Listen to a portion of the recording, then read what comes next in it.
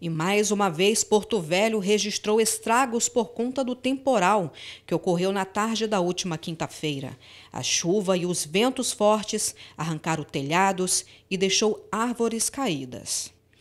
Um morador de um residencial localizado na Zona Sul gravou o momento em que a chuva iniciava. No vídeo, mostra o momento em que os ventos se tornam intensos. Segundos depois, as telhas dos apartamentos são arrancadas.